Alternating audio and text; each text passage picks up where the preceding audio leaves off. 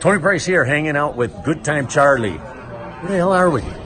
Oh, the Sturgis Hall of Fame induction ceremonies in Deadwood, South Dakota. Beautiful Deadwood, South Dakota.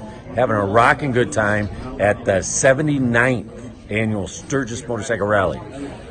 I'm out here supporting the Gold Star Ride Foundation. An organization uses motorcycles to tell people about and honor and support Gold Star families. Those are the ones that are immediate family members of somebody who gets killed in our nation's military, making sure that we're all free to do this kind of stuff. And it's an honor for me to hang out here with Good Time Charlie. We've been talk friends for a couple years now, but we never had a chance to meet face to face. So today's a really big day for me. Tell the folks your website and your Facebook page. Oh, the folks need my website Oh, page. yeah. goldstarride.org.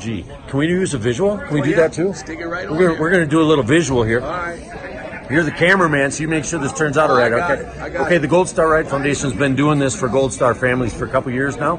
2018, this map right in the middle here was my one ride around the country. All right, and that ride I did just shy of 18,000 miles, 44 states, more than 60 families, burned through two sets of tires, and it's all worthwhile for the Gold Star families. After the rally is done on Monday, y'all join me because I'm taking off from Rapid City, South Dakota on Monday morning, and we're going west to the Pacific Ocean. We're going to stop in Bozeman, Montana, Sun Valley, Idaho, wherever Rattles, Rattlesnake Mountain, Washington is, and we're going to go see Gold Star family as far away as Bellingham, Washington. And we're going to go south to Oregon. We're going to see some more Gold Star families there. So look us up, come ride with us. We'll have a lot of fun. That's a great thing you're doing, brother. Good, good time, Charlie. Back to you.